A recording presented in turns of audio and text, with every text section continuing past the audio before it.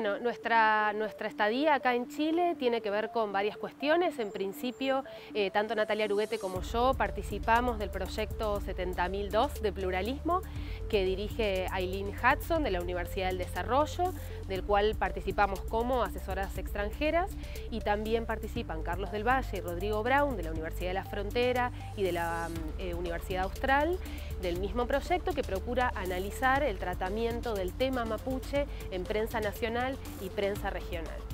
Lo que vinimos a presentar hoy aquí está íntimamente relacionado con este proyecto de pluralismo y tiene que ver con un proyecto de investigación orientada del cual Natalia y yo somos investigadoras en Buenos Aires. Es un proyecto de investigación orientada y también es un proyecto eh, de investigación de ciencia y tecnología que, que codirige Natalia con Gabriel, el doctor Gabriel Kessler y el doctor Martín Becerra, que son este, dos investigadores en ciencias sociales en Argentina. Ellos son directores cada uno de uno de estos proyectos y Natalia codirige eh, otro de ellos.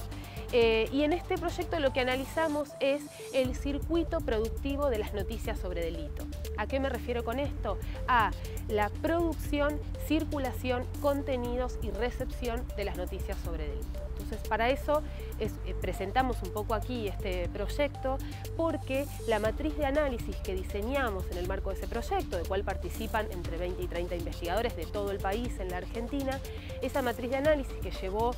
un buen tiempo de elaboración, alrededor de un año, es insumo fundamental de, proyecto, de la matriz de análisis del proyecto de pluralismo en el que estamos trabajando aquí. Por supuesto, es un antecedente, pero a la vez que trabajamos con esta matriz de análisis, también indagamos de modo preliminar en la cobertura del tema mapuche. Para eso los investigadores locales son fundamentales, nuestra mirada es desde visitantes, con la experiencia y el diseño conceptual que traemos de la Argentina. Entonces en ese diálogo estamos elaborando en este momento la matriz de análisis con la que abordaremos el tratamiento de la cuestión mapuche aquí en Chile que además es una cuestión que en los últimos tiempos y a raíz de distintos casos de resonancia nacional y regional se ha conformado en un problema eh, público en la Argentina a partir del asesinato de Santiago Maldonado y de Rafael Nahuel en la Patagonia Argentina. Es un tema de profunda discusión y de profundo interés